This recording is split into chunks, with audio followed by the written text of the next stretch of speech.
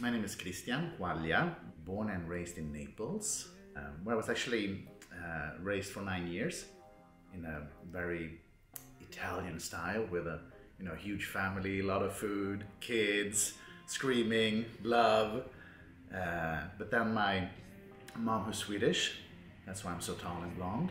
Uh, I guess had enough of the Neapolitan way of life, so we moved to Sweden.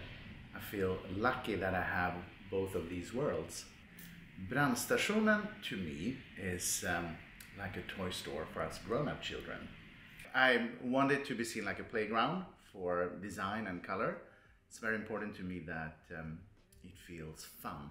I love to sell quality. That's why I have such a passion and love for vintage items because there's just something about it.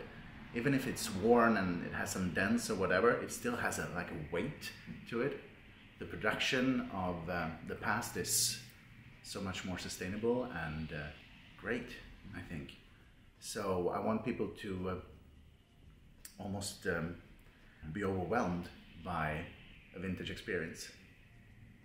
Where I find my stuff is mostly abroad.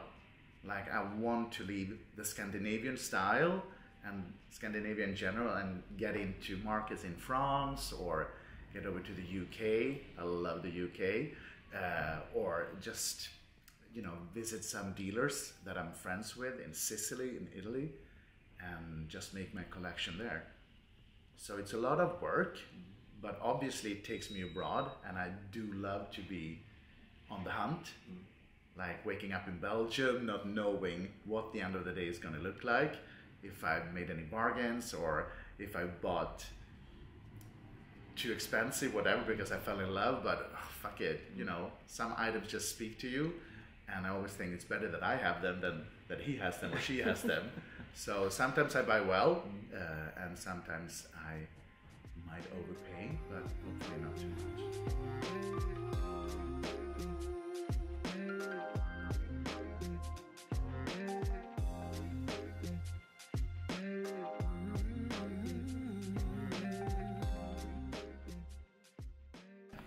a shower pillow. So, you know, how you randomly get something sometimes. Like, for instance, this um, is made by Tamar Mogendorff in New York in Brooklyn. And I'm a huge fan of her, and I found her actually on Instagram and just fell in love with her design. It's a show pillow, it's so beautiful. Uh, so I bought one and then asked if maybe she possibly would consider selling her pillows in my store. And she actually knew about my store and said yes. So um, i'm thrilled to have them.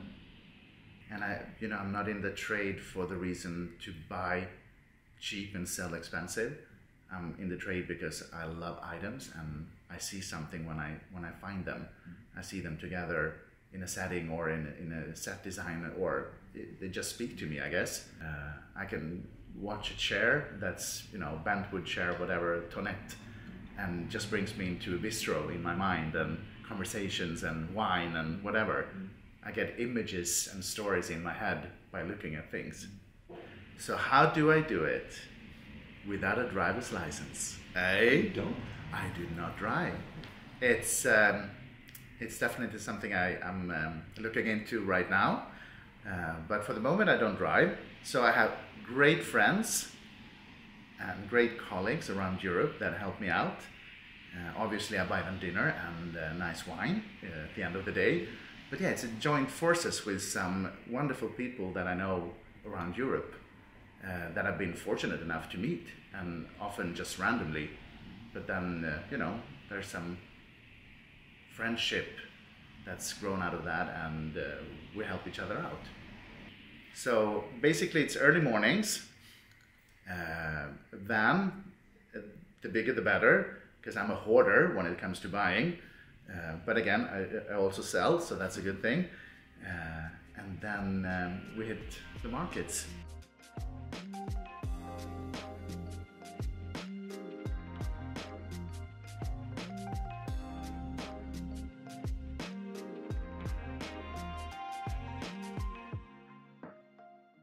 Th- there's an element to what I do that you know the excitement.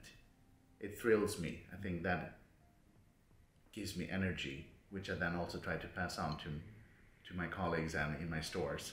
Like thing like you never know. These are some of my favorite items in the store. Uh, there are called mushroom glabs, and there are mouth blown in Venice on the island of Murano. Um, so you have this quality, immense quality and know-how behind it, but then it just looks so much fun. It's almost like a Tivoli or a candy or whatever. And I just love the combination of great craftsmanship and just fun. Doesn't need to be too serious, just because it's well made, right? To me, good art doesn't need to be expensive or you don't necessarily need to know who the artist behind it is. Obviously, it's a nice thing, but if you know, but even if you don't know, you should just love the piece itself and and select it because you like it. So this is one of my favorite items that I bought on Gotland on a flea market there, and I have no idea who made it, but I'm just in love with um, how the person painted it, the colors, and uh, just the whole experience of this piece of art. So uh, my vision for Brandstationen is to always be the colorful option. I think life should be colorful and fun, and that's the total experience that I want my customer to have when they come here to feel like, wow, uh, a colorful bomb. That's how I want it, want it to be. I love lamps. I, I, I, I, don't think there's a price tag to a lamp. Like, I, I just need them in my life. To me, lights are everything. Like, they are the piece of jewelry of the room. You can adjust the mood with them.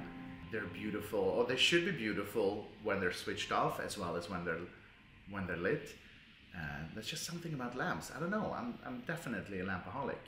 I don't think there's a limit to how much a lamp can cost or how big it can be or whatever.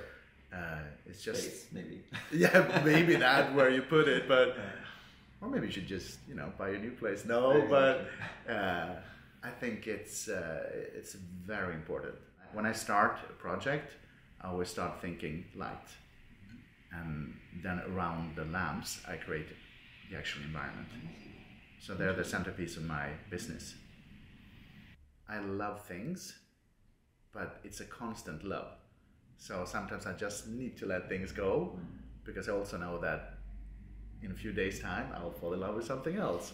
So there's a good flow of love, loving things, so I can let things go. It is part of life and it's part of my how I think about things that you actually don't own things, but you just take care of them for a while. And then when you're done, they should just be passed on to someone else. And then, you know, the things might become the centerpiece of uh, their home instead.